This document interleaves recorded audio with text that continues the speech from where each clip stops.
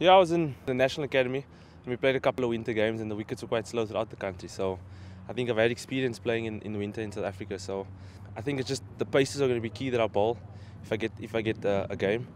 Higher paces rather than slow. So I think that's that's going to be the key key going forward in the test matches in order to control the game and, and, and have that ability to strike. It was actually my first first class game in Kingsmead and I got a, I got five wickets and I, I think the, the latter part of my spell was pretty good because I bowled quite quickly through the air.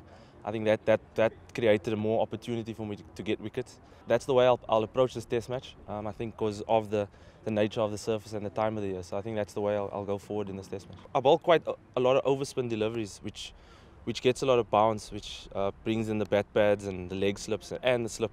So I think bounce has always been key. Claude Henderson, when he played there in the in the uh, in the late 70s or early 80s, he did quite well. Um, he told me he got five wickets on on quite the green surface because there's a lot of moisture. So hopefully with the moisture around will, will bring some reward to me. I have a feeling it will it will spin a little bit, especially early on in the test match. I think day three will be quite good to bet on, but uh, as the test match goes on, it will it will spin even more. So I think just need to to to get myself into the test match and stay there, and then I think it will the rest will do it. Always important, I think. Um, if you look at England's test team, they were down to number 10. So for us down there to, to keep contributing and getting that nerve-wracking 80, 90 run partnerships are always are always valuable. I mean, I took a lot of confidence from my last test match I played at Centurion, and I, we got a 90 run partnership with Quinny.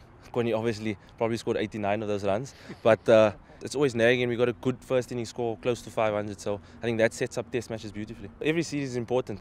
I mean, to contribute to South Africa winning, whoever spinner, whoever whatever 11 has been picked, it's very good. It's a family, the Proteas, and, and each brother in there backs you to do well. And I think that's the most important thing. So the confidence is always there. So and competition is always good.